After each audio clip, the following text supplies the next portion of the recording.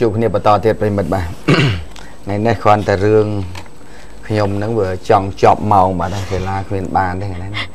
បាទដាច់តែមកសំបីតែប្រិមិត្តដែលសុំធ្វើការបកស្រាយរឿងផ្សេងផ្សេងខ្លះទៀតក៏ខ្ញុំអត់ទាន់បានលើកឡើងដែរដោយសាររឿងច្រើនមកពីតាមបណ្ដាខេត្តហើយដូចជារឿងនៅរឿងគ្រោះថ្នាក់ចរាចរណ៍ក៏មុន ជាមួយចៅសង្កាត់គោករកាហើយភៀកគីខាងមកខាងទៀតគាត់បកស្រាយមកខ្ញុំដោយបញ្ជូនសារសំឡេងមកចូលក្នុង Facebook ខ្ញុំបាទតាម Line តាម Viber ថាលោកចៅសង្កាត់នឹងសវឹងអីមិនមិនថាចាំស្អែកតែថ្ងៃនេះវារឿងច្រើនពេកបាទកង្វល់វាមានច្រើនប៉ុន្តែដោយសារតែពេលវេលាវាមានតិចអញ្ចឹងខ្ញុំលើកយកតែរឿងណាពិសេសពិសេសសិនបាទហើយឥឡូវចាប់ផ្ដើមរយករឿងដែលទឹមកើតឡើងមិញនេះបន្តិចតា បាទហេមិញ8 79ហើយដែលព្រឹត្តិការណ៍ប្លន់មួយបានកើតឡើងនៅក្នុងសង្កាត់ព្រែកប្រាខណ្ឌបាទអំពៅឥឡូវចាចាបាទខណ្ឌច្បារអំពៅបាទកាលពីវេលាម៉ោង8ជាង79នឹងមានករណីប្លន់មួយករណីប៉ុន្តែប្រជាពលរដ្ឋបានចាប់បានហើយបាទនេះគឺជាជនរងគ្រោះថាភៀកគីខាងម៉ូតូឌុប បាទអឺម៉ោង8ជាងហ្នឹងគឺមានករណីប្លន់មួយករណីបានកើតឡើងនៅតាមបណ្ដោយផ្លូវលេខ369នៅក្នុងភូមិអូអណ្ដូងសង្កាត់ព្រែកប្រាខណ្ឌអឺខណ្ឌខណ្ឌច្បារអំពៅបាទខណ្ឌច្បារអំពៅហើយករណីនេះគេថាមកអឺក្រុមប្លន់ម្នាក់នេះគឺគាត់ប្លន់ម៉ូតូឌុបដោយសារតែអ្នករត់ម៉ូតូឌុបនេះគាត់ឌុបជនសង្ស័យម្នាក់ហ្នឹងចេញពីគល់ស្ពានច្បារអំពៅ ដែលចេញពីគុលស្ពានច្បារអំពើមកដល់ចំណុចកើតហេតុខាងលើនៅភូមិអូនដងហ្នឹងក៏ចាប់ដើមធ្វើសកម្មភាពប្លន់លើម៉ូតូឌុបបាទម៉ូតូឌុបអញ្ចឹងក៏ពេលនោះក៏បតាយបន្តគ្នាបណ្ដាលឲ្យខាងភៀកគីខាងម៉ូតូរងរបួសហើយពេលនោះក៏ភ្ញាក់ផ្អើលដល់ប្រជាពលរដ្ឋនៅទីនោះគាត់ឡោមព័ទ្ធចាប់បរោះនឹងបានទៅជនសង្ស័យម្នាក់ហ្នឹងបាទឥឡូវចាប់បានគេថាជាជាជាជាចៅប្លន់ប៉ុន្តែនៅមានការសង្ស័យអញ្ចេះទៀត គេថាមុនដំបូងហ្នឹងកាគេឮថាអ្នកម៉ូតូឌុបហើយនឹងភាគីម្ខាងទៅជែកគ្នារឿងបញ្ហាមិនឲ្យលុយបាទមិនបញ្ហាមិនឲ្យលុយហ្នឹងក៏ខាងភាគីម៉ូតូឌុបក៏ស្រែកតែចោលប្លន់តែម្ដងទៅហើយសួរថាតើតម្លៃដែលដឹកហ្នឹងមកប្រមាណតម្លៃដែលដឹកជនសង្ស័យនេះមកពីគុលស្ពានច្បារអំពៅអត់ថាតម្លៃប្រមាណទេដោយនិយាយគ្នាថាចាំមកដល់ទៅហ្នឹងចម្ងាយប្រមាណគិតតម្លៃប៉ុណ្ណឹងទៅ អេបើសិនពលីអត់ទាន់គេវាយងាប់ចាចាប៉ុន្តែវាមិនដឹងថាតើរឿងនេះឆ្លោះគ្នាដោយសារតែរឿងតថ្លៃលុយវាអត់ត្រូវគ្នាឬខាងខាងនោះអត់ឲ្យលុយវាទៅជាឆ្លោះគ្នាឬមួយក៏ពេលដែលឆ្លោះគ្នាហើយហ្នឹងខាងភាគីម៉ូតូឌុបនេះស្រែកថាជាចោលប្លន់ទៅធ្វើឲ្យប្រជាពលរដ្ឋដើម្បីជួយឬមួយក៏ជនសង្ស័យនេះជាអ្នកទៅប្លន់អ្នកម៉ូតូឌុបនឹងពិតប្រាកដឥឡូវយើងចាំមើលសួរសិនពីព្រោះវាខ្លាចអញ្ចឹងវាខ្លាចថា តថ្លៃតម្លៃវាខុសគ្នាគេលក់ម៉ូតូឌុបគាត់ទាតម្លៃខ្ពស់ខាងនោះថាអេតម្លៃប៉ុណ្ណេះនេះជីប៉ុណ្ណឹងទៅទៅជជែកគ្នាដោយសារតែរឿងឲ្យលុយថ្លៃម៉ូតូឌុបក៏កើតការវាយគ្នាទៅទៅវាឲ្យម៉ូតូឌុបក៏ស្រែកតែចោលទៅប្រជាពលរដ្ឋនៅចិត្តហ្នឹងតែចោលប្លន់ទៅទៅជួយវាខ្លាចអញ្ចឹងណាវាខ្លាចរឿងតាក់ទងវាមិនមែនប្លន់ពិតប្រកបប៉ុន្តែបើសិនជាប្លន់ពិតប្រកបអ្នកឯងពាក់ព័ន្ធនឹងប្លន់ពិតប្រកបគ្មានប្រជាពលរដ្ឋណាស្រឡាញ់ទេប៉ុន្តែខ្ញុំគិតខ្លាច មានអ្នកម៉ូតូឌុបខ្លះកាលពីខ្ញុំធ្លាប់ដឹងឌុបគេពីកន្លែងបេនឡានអ្នកមកពីស្រែឌុបឲ្យកងគេកងគេឲ្យតម្លៃយកតម្លៃគេខ្ពស់ចាបាទរួចហើយក៏កើតគេចំនួនកើតឡើងបាទគាត់អាងថាអ្នកមកពីជនបទអត់ឲ្យអឺអត់អត់ដឹងកន្លែងទីតាំងចិត្តដូចឆ្ងាយចឹងហើយគាត់ចេះតែទាបាទដល់ចេះតែទាទៅវាកើតរឿងចំនួន អញ្ចឹងអានេះមិនដឹងជាតើតើប្លន់ពិតប្រកបបើប្លន់ពិតប្រកបខ្ញុំក៏អត់គ្រប់គ្រងដែរប៉ុន្តែខ្ញុំថាខ្លាចតែរឿងហ្នឹងវាចំនួនដោយសារតែរឿងឲ្យលុយតិចឬក៏ច្រើនបាទតែប៉ុណ្ណឹងគេខ្លាចចឹងអញ្ចឹងខ្ញុំអត់តន់ហ៊ាននិយាយថាប្លន់ពិតប្រកបឥឡូវសំខាន់ចាំមើលថ្ងៃហ្នឹងបញ្ចប់ឲ្យរឿងឲ្យខាងភ្នាក់ងាររបស់យើងទៅដល់កន្លែងប៉ុស្តិ៍ចម្លើយរបស់គាត់ហ្នឹងថាម៉េចប្លន់មែនឬយ៉ាងម៉េចឬក៏រឿងតម្លៃថ្លៃម៉ូតូបាទអញ្ចឹងអ្នក ប្រជាពលរដ្ឋគាត់ឲ្យតែថាលឺថាប្លន់មិនដែលណាមួយស្រឡាញ់ទេបាទប៉ុន្តែខ្ញុំខ្លាចតែវាច្រឡំបាទបើច្រឡំយើងសម្ដែងការសោកស្ដាយចាបាទអរគុណតោះឥឡូវឲ្យសេឡាម្ដងបាទកុំឲ្យខាងខ្ញុំច្រើនពេក ចាឥឡូវយើងចូលទៅករណីរឿងទៅរកព្រះស្រោចទឹកនៅអង្គុយសំកុកក្នុងវត្តចិត្តមួយកំណាត់យប់ធ្វើមានការភ្ញាក់ផ្អើលបរិមម្នាក់មានសតិមិនប្រក្រតីអះអាងថាត្រូវអំពើ ចាទៅរកឲ្យព្រះស្រោចទឹកហើយចង់សម្រាកក្នុងវត្តមួយយប់នៅអង្គុយមុខចេតិយព្រះរាជគុណលោះឡាយមួយកំណាត់យប់ធ្វើមានការភ្ញាក់ផ្អើលនៅវេលាម៉ោង12 30នាទីរំលងអត្រិតឈិនចូលថ្ងៃទី21ខែតុលានៅក្នុងវត្តសំសំកហ្វលសង្កាត់បឹងទំពុនខណ្ឌមានជ័យប្រពន្ធព័ត៌មានបានឲ្យដឹងថានៅវេលាម៉ោង6:30នាទីព្រលប់ថ្ងៃទី20ខែតុលាបរិមម្នាក់បានជិះម៉ូតូ Honda Dream Free Phone 9ពណ៌ខ្មៅពាក់ផ្លាកលេខភ្នំពេញ 1AI 29 20កត់ចូលទៅក្នុងវត្តសន្សំកហ្វាដោយហ្វូរកព្រះសង្ឃគង់នៅកត់លេខ8ឲ្យជួយស្រោចទឹកចាព្រោះគាត់ត្រូវអំពើរបស់គេតាមផ្ចាញ់រួចហើយបានឈប់ម៉ូតូដើរទៅកត់លេខ2វិញត្រូវបានព្រះសង្ឃប្រាប់ថាទៅកត់លេខ8វិញទៅក៏ឡើងទៅកត់លេខ8ជាមួយនឹងព្រះសង្ឃបានបន្តិចបានចុះមកវិញដោយមិនបានស្រោចទឹកនោះទេព្រោះថាយប់ទៅហើយចាគណៈដែលចុះពីលើកត់វិញត្រូវព្រះសង្ឃកត់លេខ8ប្រាប់ទៅព្រះសង្ឃនិងកូនសិស្សលោកចាឲ្យប្រយ័ត្នបាត់ទ្រព្យសម្បត្តិប្រភពព័ត៌មានបន្តទៀតថាពេលដែលចុះពីស្រោចទឹកវិញបានទៅសុំព្រះសង្ឃស្នាក់នៅមួយយប់តែព្រះសង្ឃប្រាប់ថាអត់មានកន្លែងដេកនោះទេស្រាប់តែបរិសរូបនោះបានដើរទៅអង្គុយសំកក់នៅមុខចេតិយរបស់ព្រះរាជគុណលោះឡាយដែលនៅក្នុងចេតិយនោះគឺមានកោធ្វើពីមាសផងដែរហើយត្រូវបរិសខាងលើនៅអង្គុយសំកក់តាំងពីប្រលប់រហូតដល់ពាក់កណ្ដាលត្រៀតមុខខំពេញខ្លួនប្រានទៅហើយក៏មិនព្រមត្រឡប់ទៅវិញនោះដែរ ពេលដែលសមត្ថកិច្ចចុះទៅសួរនាំក៏អត់ព្រមឆ្លើយនិយាយអីទៀតហើយរហូតដល់អ្នកយកព័ត៌មានចុះទៅសួរនាំទើបបរិសខាងលើបានយកកាតមកបង្ហាញថាខ្លួនមានឈ្មោះនួនវណ្ណៈភេទប្រុសអាយុ46ឆ្នាំជាមន្ត្រីការិយាល័យទំនាក់ទំនងទូទៅនៃអគ្គនាយកដ្ឋានពិធីការដែលស្នាក់នៅផ្ទះលេខ 9M ផ្លូវបេតុងភូមិតងើយក្រោមសង្កាត់នៃរោតខណ្ឌមានជ័យហើយគាត់មកវត្តនេះដើម្បីស្រោចទឹកព្រោះមានមាតាមផ្ចាញ់ពេលដែលនិយាយរួចហើយដល់ម៉ោង12:30នាទីរំលងអត្រាទើបបរិសរូបនោះបានយកម៉ូតូជិះចេញទៅបាត់ទៅបាទនេះមិនដឹងជាគាត់មានអារម្មណ៍មិនសូវល្អក៏មិនដឹងឬក៏គាត់មានជំងឺអីប្រចាំកាយក៏មិនដឹងដែលគាត់មកស្រោចទឹកណាប៉ុន្តែអ្វីដែលការសង្ស័យរបស់លោកហ្នឹងណោះរឿងពេលយប់គឺសង្ស័យខ្លាចจะមានឆ្លៀតឱកាសមកអង្គុយសំកុកចឹងទៅអឺចាំលួចរបស់គរុភ័ណ្ឌនៅក្នុងវត្ត ប៉ុន្តែខ្ញុំមើលរៀងរើមនុស្សនេះដូចជាមនុស្សដូចជាមានលក្ខណៈសម្បត្តិគ្រប់គ្រាន់បាទហើយខ្ញុំគិតថាបើសិនជាគាត់ជាចរិតមួយថាប៉ុនប៉ងលួចរបស់របរអីនៅទីនោះវាមិនដែលណាមកចេញមុខនៅកដាលវាលបាទអង្គុយនៅកដាលវាលឲ្យគេសង្ស័យបាទមនុស្សដែលមានចេតនាចង់លួចពិតប្រកបវាមិនដែលមកនៅអង្គុយសំកកកដាលវាលចាំលួច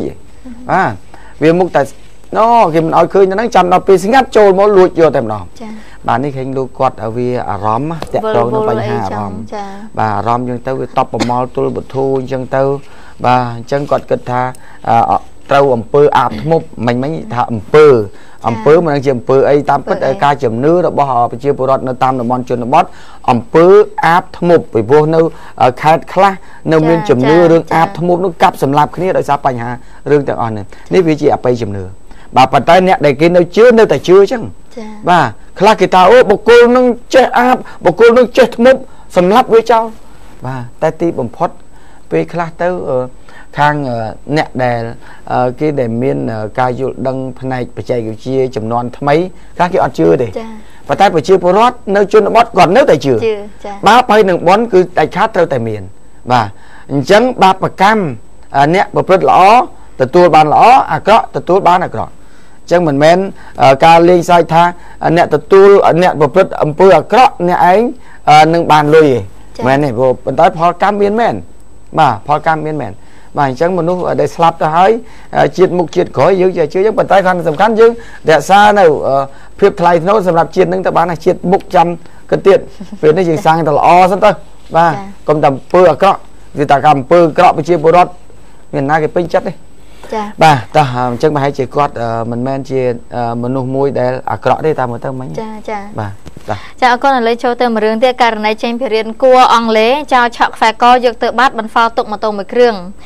យុវសាស្ត្រីម្នាក់ ចាជិះកង់ចេញពីរៀនគួរអង់គ្លេសត្រូវជនសង្ស័យពីរនាក់ឆក់ខ្សែកបានសម្រេចហើយព្យាយាមរត់គេចខ្លួនត្រូវអ្នកឃើញហេតុការណ៍ដេញតាមយកបានម៉ូតូចាទៅប្លង់ចោលហើយរត់គេចខ្លួនបាត់ស្រមោលកាត់ឡើងនៅវេលាម៉ោង6:40នាទីព្រលប់ថ្ងៃទី20ដុល្លារតាមផ្លូវបេតុងភូមិតងួនសង្កាត់កាកាមនារីរងគ្រោះមានឈ្មោះប៉ែនសុផានិតអាយុ16ឆ្នាំជាសិស្សអនុវិទ្យាល័យភ្នំពេញថ្មីស្នាក់នៅភូមិដំណាក់ ស្នាក់នៅភូមិដំណាក់សង្កាត់ភ្នំពេញថ្មីខណ្ឌហ្វេនហ្វុកបានឲ្យដឹងថាមុនពេលដែលកាត់ហេតុនាងជីកង់ចេញពីរៀនគូអង់គ្លេសក្នុងទិដៅពីការតលេចហើយមកដល់ចំណុចខាងលើស្រាប់តែជនសង្ស័យពីរនាក់ជិះម៉ូតូហ្វង់ក្រេពណ៌ក្រហមពាក់ផ្លាកលេខស្វ័យរៀង 1A 3176 ជិះពីរនាក់ក្នុងទិដៅស្រោបគ្នាក៏ធ្វើសកម្មភាពឆក់ខ្សែកបានសម្រេចហើយព្យាយាមជិះម៉ូតូរត់គេចត្រូវអ្នកឃើញហេតុការណ៍ដេញតាមរហូតដល់ភូមិប្រប្រកខាងជើងហើយជនសង្ស័យបានយកម៉ូតូទៅប្លង់ចោលនៅខាងក្រោយផ្ទះអ្នកលក់ចាប់ហួយហើយក៏រត់គេចខ្លួនទាំងពីរនាក់ទៅ ចានារីរងគ្រោះបានឲ្យដឹងទៀតថាខ្សែកដែលចោលឆក់យកទៅបាត់នោះជាខ្សែកផ្លាទីនដែលទិញក្នុងតម្លៃ130ដុល្លារហើយក្រោយពេលដែលកើតហេតុសមត្ថកិច្ចបានយកម៉ូតូរបស់ជនហ្វុងហ្វៃទៅរក្សាទុកនៅប៉ុស្តិ៍កកាបចំណែកនារីរងគ្រោះបានទៅប៉ុស្តិ៍ចាធ្វើការបំភ្លឺតែមិនបានដាក់ពាក្យបណ្ដឹងនោះទេចា៎ ចូលទៅករណីមួយទៀតគឺទូហ្វេហ្វែភ្លើងឆេះបង្គោលភ្លើងនឹងដើមឈើនៅជាប់នឹងរបងព្រះបរមរាជវាំងហេតុការណ៍ភ្ញាក់ផ្អើលមួយបានកើតឡើងគណៈដែលបង្គោលភ្លើងនៅជាប់នឹងរបងព្រះបរមរាជវាំងបានទូហ្វេហ្វែភ្លើងបង្កជាអណ្ដាតភ្លើងឆេះហ្វន្ធូហ្វន្ធៅឆ្លងរាលដាលឆេះដល់ផ្លឹកឈើនៅជាប់នឹងបង្គោលភ្លើងនោះទៀត ចាកាត់ឡើងកាលពីវេលាម៉ោង7:20នាទីយប់ថ្ងៃទី20ដុល្លារតាមវិថីសុធារស់សង្កាត់ជ័យជំនះខណ្ឌដូនពេញប្រភពព័ត៌មានពីកន្លែងកាត់ហេតុបានឲ្យដឹងថាមុនពេលដែលកាត់ហេតុស្រាប់តែទូហ្វេហ្វែភ្លើងនៅលើបង្គោលភ្លើងខាងចុងចាបង្កជាអណ្ដាតឆាប់ឆេះខ្សែភ្លើងធ្វើឲ្យខ្លោចបង្គោលភ្លើងហើយបានឆ្លងរាលដាលឆេះផ្លឹកឈើនៅជាប់នៅបង្គោលភ្លើងនោះថែមទៀតធ្វើឲ្យអ្នកឃើញហេតុការណ៍យកបំពង់ប្លុតអគិភ័យបាញ់អស់3បំពង់នៅតែបន្តរលត់ចាបានទូរស័ព្ទហៅរថយន្តប្លុតអគិភ័យមួយគ្រឿងទៅជួយបាញ់ពន្លត់ពេលរថយន្តប្លុតអគិភ័យទៅដល់ហើយមិនទាន់ហ៊ានបាញ់នោះទេតតែខាងអគិសនីបិទបរ៉ែតរួចទៅបាញ់ទឹកអស់បន្តិចអណ្ដាតភ្លើងក៏បានរលត់អស់ទៅវិញទៅចា៎ រឿងមួយទៀតគឺករណីខត់ខ្លួនជនប្រដាប់ដោយដាវកែច្នៃនិងមានកម្រិតប៉ាំងតោចំនួន4នាក់នគរបាលល្បាតក្នុងមូលដ្ឋានប្រទះឃើញយុវជនមួយក្រុមអង្គុយលើក្រែប្រដាប់ដោយដាវកែច្នៃនិងកម្រិតប៉ាំងតោធ្វើការខត់ខ្លួនបាត់4នាក់ដាវកែច្នៃ3កម្រិតប៉ាំងតោ1កាលពីវេលាម៉ោង10និង10នាទីយប់ថ្ងៃទី20ដុល្លារមកផ្ទះជួលតាមផ្លូវលំភូមិព្រៃទាសង្កាត់ចំចែកខណ្ឌពោធិ៍ហ្វេនជ័យសមត្ថកិច្ចបានឲ្យដឹងថាគណៈដែលកម្លាំងល្បាតក្នុងមូលដ្ឋានជិះម៉ូតូ2គ្រឿងមកដល់ចំណុចខាងលើប្រទះឃើញយុវជនមួយក្រុមជាង10នាក់នៅអង្គុយលើក្រែមុខបន្ទប់ជួលប៉ុន្តែពេលដែលលើសំឡេងវិទ្យុតាក់ទងរបស់សមត្ថកិច្ចក៏នាំគ្នារត់ចាអស់ដាវគេចខ្លួនតែភ្លាមភ្លាមនោះសមត្ថកិច្ចខត់ខ្លួនបានម្នាក់និងស្រាវជ្រាវខត់ខ្លួនបានបាក់ពួក3នាក់ទៀតរួមជាមួយដាវកែច្នៃ3និងកបិតប៉ាំងតាមួយយកទៅហ្វាក់ហ្វូននៅប៉ុស្តិ៍នគរបាលចំចៅជនសង្ស័យដែលខត់ខ្លួនបានទី1ឈ្មោះហ្វុសជឿនអាយុ23ឆ្នាំទី2ឈ្មោះរឿនកេតអាយុ25ឆ្នាំ3ឈ្មោះយឹមកឹមយឿងអឺអាយុ20ឆ្នាំនិងទី4ឈ្មោះយេនតិតអាយុ25ឆ្នាំអ្នកទាំង4អ្នកជាកម្មករធ្វើប៉ៅអ៊ីធ្វើប៉ៅអ៊ីបត់ស្នាក់នៅផ្ទះជួលភូមិកើតហាត់ខាងលើស្រុកកំណើតនៅខាងខេត្តកំពង់ធំតាមចម្លើយសារភាពរបស់ជនសង្ស័យឲ្យដឹងថាកន្លងមកពេលដែលពួកគេអង្គុយលេងនៅលើក្រែគឺមានជនមួយក្រុមប្រដាប់ ដោយដាវបានទៅគម្រាមវាយពួកគេទៅពួកគេបានកែច្នៃកែច្នៃដាវទុកសម្រាប់ការពារខ្លួនវិញដោយសារតែជនសង្ស័យមិនទាន់បានប្រព្រឹត្តបទល្មើសទៅសមត្ថកិច្ចខត់ខ្លួនយកហ្វាក់ហ្វូនិងធ្វើការអប់រំហើយក៏ដោះលែងវិញចា៎ដាវសាមរ៉ៃហ៎ចាដាវកែច្នៃចា៎បាទតោះ មួយរឿងទៀតករណីកាមេរីឆ្លាមបុកម៉ូតូអូសជាប់នៅក្រោមរថយន្តចាខណ្ឌដូនពេញរត់ទៅដល់ពីខណ្ឌដូនពេញរត់ទៅដល់ខណ្ឌពោធិ៍ហ្វេនជ័យរថយន្តកាមេរីឆ្លាមបុកម៉ូតូជិះឆ្លងផ្លូវអូសជាប់ក្រោមរថយន្តតាំងពីក្បែរស្តុបវត្តនិកវ័នបើករត់រហូតដល់ផ្លូវចូលបរិយា New Town ភូមិព្រៃទាសង្កាត់ចំចែកខណ្ឌពោធិ៍ហ្វេនជ័យទើបជ្រុះម៉ូតូចាហើយរថយន្តបង្កបើរត់បាត់ស្រមោលតែម្ដងករណីគ្រោះថ្នាក់នេះបណ្ដាលឲ្យរងរបួសធ្ងន់2នាក់កើតឡើងនៅវេលាម៉ោង3:10នាទីទីភ្លឺថ្ងៃទី21ដុល្លារតាមមហាវិថីហ្វាប៉ូរ៉ូហ្វីកែងផ្លូវនីរុសកែក្បែរនឹងស្តុបវត្តនិកវ័នសង្កាត់ហ្វ្រាស់ចកខណ្ឌដូនពេញហ្វាហ្វៃឃើញហេតុការណ៍បានឲ្យដឹងថាមុនពេលដែលកើតហេតុជនរងគ្រោះ2នាក់ជិះម៉ូតូឆាលីប៉ូហ្វជិះ2នាក់តាមផ្លូវនីរុសពីត្បូងទៅជើងចំណែករថយន្តបង្កម៉ាកកាមេរីឆ្លាមប៉ស្កបោកបោតាមមហាវិថីហ្វាប៉ូរ៉ូហ្វីពីកាតលិចហើយមកដល់ចំណុចខាងលើក៏ស្រាប់តែម៉ូតូនឹងជិះឆ្លងផ្លូវត្រូវរថយន្តបើកលឿនផងនោះបុកម៉ូតូអស់ជាប់ក្រោមរថយន្តចំណែកអ្នកជិះម៉ូតូទាំងពីរនាក់ខ្ទាតចេញក្រៅរករបួសធ្ងន់ទាំងពីរនាក់ដែលឡែករថយន្តបង្កបានបើក អស់ម៉ូតូជាប់ក្រោមរថយន្តរហូតដល់ផ្លូវចូលបរិយា New Town ភូមិព្រៃទាលសង្កាត់ចំចៃខណ្ឌពោធិ៍ហ្វេនជ័យទើបជ្រុះម៉ូតូចេញពីក្រោមរថយន្តខូចខាតទាំងស្រុងចំណែករថយន្តបង្កបោរត់បាត់ស្រមោលហើយក្រោយពេលកាត់ហេតុអ្នករងរបួសធ្ងន់គេស្គាល់ឈ្មោះថាម៉េងអុកអាយុ20ឆ្នាំភេទប្រុសជាសន្តិសុខឯកជនស្នាក់នៅខណ្ឌទូកោរបួសបាក់ជើងខាងស្ដាំនិងម្នាក់ទៀតឈ្មោះហុងវ៉ាអាយុ27ឆ្នាំភេទប្រុសជាសន្តិសុខឯកជនដែលស្នាក់នៅជាមួយគ្នាគឺសន្លប់អ្នករងរបួសទាំងពីរត្រូវយន្តសង្គ្រោះគ្លីនិកឯកជនចំនួន2ដឹកយកទៅព្យាបាលម្នាក់មួយរីឯម៉ូតូសមត្ថកិច្ចយករ៉ាហ្វាទុកនៅខណ្ឌពោធិ៍ហ្វេនជ័យចា៎បាទបាទនេះតកតងបញ្ហាសន្តិសុខពេលយប់ទូទាំងជនមានគ្រោះថ្នាក់វាមានប្លន់បាទប៉ុន្តែមានសារមួយសូមជម្រាបជូនចុងក្រោយម្សិលមិញសេឡាមានផ្សាយព័ត៌មានរឿងអឺមេប៉ុស្វត្តភ្នំបាទតកតងនឹងរឿងអីអឺតកតងទៅនឹង ទេដូចជាផ្លិចចាគេទៅប្តឹងរឿងបាត់ម៉ូតូចាចាចាចាពេលចោតថាមេប៉ុសគាត់ថាម៉េចគាត់ថាគាត់ថាយប់ប្រលប់អីមកប្តឹងធ្វើអីអត់ទទួលពាក្យបណ្ដឹងហ៎ចាគាត់អត់ទទួលពាក្យបណ្ដឹងទេខ្ញុំទទួលទូរស័ព្ទពីលោកមេប៉ុសវត្តភ្នំហើយខ្ញុំថាខ្ញុំអត់បានដឹងរឿងនឹងទេព្រោះរឿងថ្ងៃម្សិលមិញគឺសេឡាជាមួយសុខៈនិយាយប៉ុន្តែអត់អីទេលោកចង់និយាយថាម៉េចមក បាទដល់ពេលលោកបានផ្សាយប្រាប់មកខ្ញុំមករឿងតាក់តងរឿងថាបាត់ម៉ូតូគេទៅប្តឹងហើយ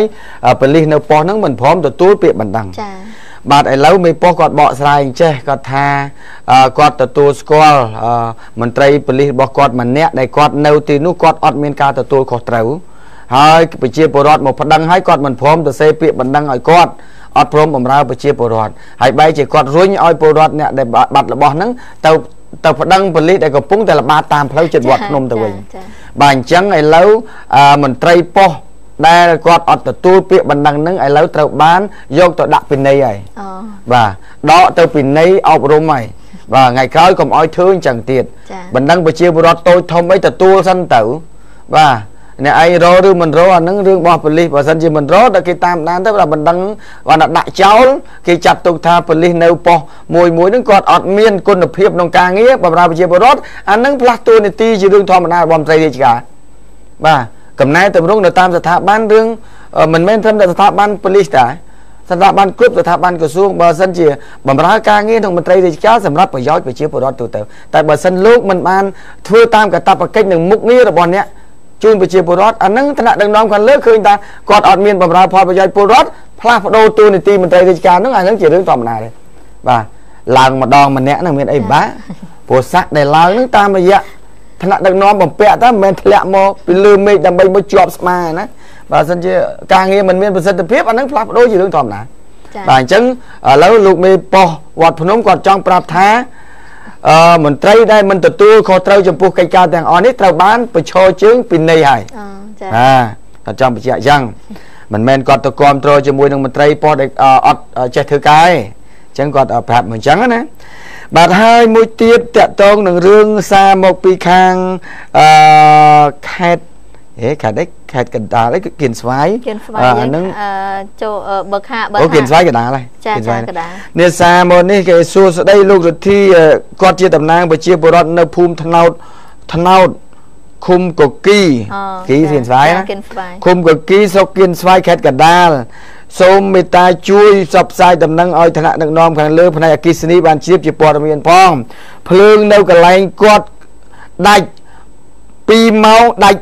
4ដង2ម៉ោងដាច់4ដងហើយ2ថ្ងៃឆេះអស់ទូទោះ5ដាច់បិទបើកបើកបិទបិទបាំងគាត់ថាគាត់ថាភ្លឹបផ្លេតភ្លឹបផ្លេតឆេះហើយឆេះហើយដាច់វិញដាច់វិញឆេះព្រាមអាភ្លឹបផ្លេតភ្លឹបផ្លេតដូច7ពេកហ្នឹងអាហ្នឹងគាត់ថាអាហ្នឹងឆេះទូទួផងឆេះអាឆេះអាម៉ាស៊ីនត្រជាក់អីណាគាត់ថាដាច់តិចទៀតគាត់ថា បើថាដាច់ដាច់ឲ្យយូរទៅហ្មងចាចាហើយចាប់ដើមឆេះឆេះឲ្យយូរទៅហ្មងទៅកុំឲ្យដាច់បើកឆេះឆេះបើកអាហ្នឹងគាត់ថាអាហ្នឹងវាត្រូវអូរបស់របរគាត់នោះវាខូចគាត់ថាអញ្ចឹងសុំខាងអគិសនីជួយពិនិត្យផងមិនបានដាច់អញ្ចឹងបាទនេះគាត់ស្នើមកអញ្ចឹងអ្នកកគីហើយនឹងអ្នកនៅអាមេរិកគាត់ថាអ្នកចាញ់បោកតាមវិញល្មមយល់ហើយរឿងត្រូវរង្វាន់នោះ មិនចាំបាច់ឲ្យហងមាននិយាយច្រើនពេកទេនិយាយទៅវាដដែលដដែលឃើញលោកវាសាំចាណាគាត់ថាអញ្ចឹងអញ្ចឹងគាត់ថាចុះឲ្យកន្លែងគេដាក់វិញហ្នឹងហើយមានកាមេរ៉ាចាប់ដែរចាកន្លែងខ្លះមានកន្លែងខ្លះអត់ទេលោកអត់ទេមានក៏មានទៅប៉ុន្តែនៅពេលដែលគេទៅដល់មិនដឹងថាមនុស្សនឹងអ្នកបោកណាចាបាទហើយគាត់ប្រាប់ថាសូមឲ្យអ្នកទៅបើកវិញទាំងអស់ហ្នឹងអឺកុំពាក់វ៉ែនតាកុំពាក់ម៉ាស់មុខដើម្បីឲ្យកាមេរ៉ាចាប់ឲ្យចំគាត់នឹងអ្នកនៅក្រៅ ហើយគាត់ថាចុះមិនក៏មានកាមេរ៉ាដែរមិនចាប់បានអាអ្នកគេបោកគេហ្នឹងឥឡូវខ្ញុំប្រាប់ទៅវិញថាតាក់តងបញ្ហាវិញគេចាប់អត់បានត្រង់ថាវិញសប្ងៃនេះគឺយើងទៅបើកកន្លែងណាក៏បានដែរហើយទៅបើកនឹងយើងមិនមែនទៅសួរគេថាណែបងឯងលុយនឹងលុយបោកគេដែរមិនទៅសួរអញ្ចឹងណាណាអញ្ចឹងគាត់ក្រែងច្រឡំណាអញ្ចឹងកាមេរ៉ាចាប់បានចាប់បានគេចាប់បានតែខាញ់ខ្លែងលួចជន់ខលគុជទៅប្លន់ទៅលួចអីចឹងណាតែអារឿងតាមវិញហ្នឹងយើងគាត់ពិបាកនឹងចាប់គេ ប៉ុន្តែយ៉ាងណាក៏ដោយឥឡូវនឹងមានកូដវិញគេថ្មីបាទហើយក៏អាចថាអ្នកដែលទៅបើកនឹងអាចយកអតញ្ញាណប័ណ្ណក៏កាន់តែល្អចាចាគាត់គាត់ខាងក្រៅប្រទេសគាត់ផ្ដល់មកអញ្ចឹងគាត់ហើយថាដើម្បីឲ្យប្រយ័ត្នកុំឲ្យពលរដ្ឋខ្មែររបស់យើងចាញ់បោកគេដោយសារតែរឿងអញ្ចឹងហើយសូមឲ្យពលរដ្ឋខ្មែរយើងទាំងអស់ចេះឆ្លាតវ័យពីឥឡូវនេះទៅកុំល្ងងឲ្យគេបោកចាអា បាទលុយគេនៅកប៉ៅគេសុកសុកគេប្រាប់ថាត្រូវរង្វាន់រាប់ម៉ឺនរាប់សែនដុល្លារជឿអត់បាទអានេះដូចជាដុល្លារធ្លាក់ពីលើមេឃមកចូលនៅក្នុងកប៉ៅដុល្លារធ្លាក់ពីលើមេឃចូលក្នុងផ្ទះអាហ្នឹងគេយើងពិបាកបាទវាមិនដល់ថ្នាក់យើងកូនចេញជៀននេះ បាទហ្នឹងអញ្ចឹងបើសិនជាកូនចេញជៀនចេញមាសចេញប្រាក់ចេញដុល្លារខ្ញុំចាំលឹះហ្នឹងមកយកមកចាំមកជិលរស់ស៊ីអីណាឲ្យតែមកកូនទៅការខ្សែកកូនចេញខ្សែកហ្នឹងហើយយកធ្វើមិនបានបានកូនខ្សែកមកហ៎ដល់យកខ្សែកទៅប្រកាសទៅយើងយកអីទៅប្រកាសយកផ្កាយឈូកទៅប្រកាសអឺ បាទអញ្ចឹងសូមឆ្លាតឡើងបងប្អូនពលរដ្ឋរបស់យើងកុំចាញ់បោកគេដោយសារតែគេបោកណាបាទអរគុណទូទាំងជនឥឡូវនេះម៉ោង10កន្លះបាត់ហើយដោយសារពេលវេលាដល់ទីបញ្ចប់ទៅហើយខ្ញុំជាមួយនឹងសេឡារួមជាមួយនឹងក្រុមការងារសូមជម្រាបលាទូទាំងជនត្រឹមប៉ុណ្ណេះហើយយើងនឹងវិលមកជួបគ្នានៅថ្ងៃស្អែកបន្តទៀតមុននឹងជម្រាបលាទៅក៏អរគុណចំពោះទូទាំងជនដែលតែងតែគ្រប់គ្រងកម្មវិធីហងមាសតាំងពីដើមរហូតដល់ចប់ អរគុណចំពោះប្រជាពលរដ្ឋទាំងក្នុងនិងក្រៅប្រទេសដែលតែងតែមានភក្ដីភាពជាមួយនឹងហងមាសហើយពេលខ្លះទៅក៏កំពុងតែតាមដានអត់ទាន់បានបាយពេលព្រឹកបានកាទៀវពេលព្រឹកដែរសម្រាប់ខ្ញុំក៏អត់ទាន់ដែរចាំចប់យើងរួមគ្នាទៅហូបទាំងអស់គ្នាណាសម្រាប់ពេលនេះយើងខ្ញុំទាំងអស់គ្នាសូមជម្រាបលាយើងជួបគ្នានៅថ្ងៃស្អែកបន្តទៀតបាទ